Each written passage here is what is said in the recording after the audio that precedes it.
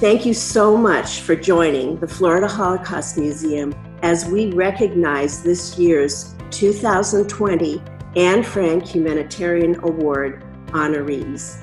These students are living our museum's mission, bringing hope and positive change to their schools, their communities, and the world. Congratulations to these Florida upstanders. Hello, I'm Commissioner Reggie Bellamy of Manatee County, Commissioner District 2.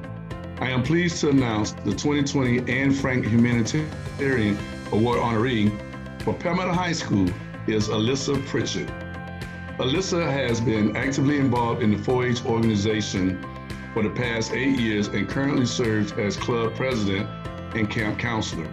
In the local community, Alyssa has participated in canned food drives and shoreline and cemetery cleanups, and she has volunteered for Toys of Tots, the elderly, and the Manatee County Fair. For the last three years, Alyssa has donated her time to the Neuro Challenge Foundation's Parkinson's Expo, held in the Bradenton Area Convention Center.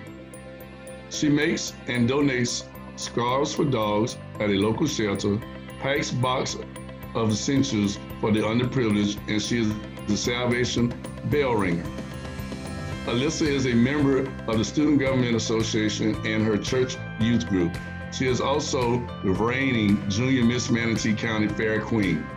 Congratulations, Alyssa.